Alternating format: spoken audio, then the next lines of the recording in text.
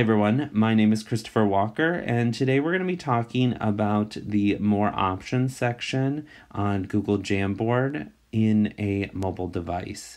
So once you are on a jam, you're going to go to the top right hand corner and click on the three vertical dots. From there, you're going to see all your more options that you have. The first one is a share option. So it's going to pop this open. You're going to type in um, someone's name that you normally um, would email possibly or that's in your network or whatever or if you know their email you could do it right from there.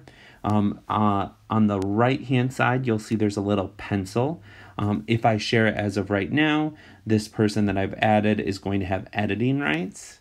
Uh, if eye click on it, I can change it to viewer or the I option so that they can only view this piece. I can also add in a little message and then I can use the um, what looks like a paper airplane to share it out with that person.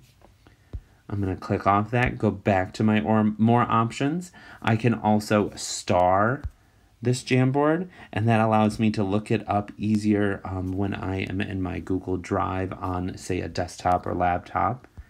Um, I can turn my link sharing on, so that's going to turn it on, and then I can copy the link and share it through like an email or um, if you use Remind or something like that.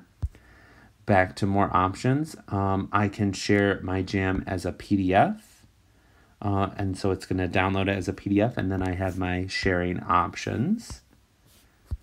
I can also share each frame as an image.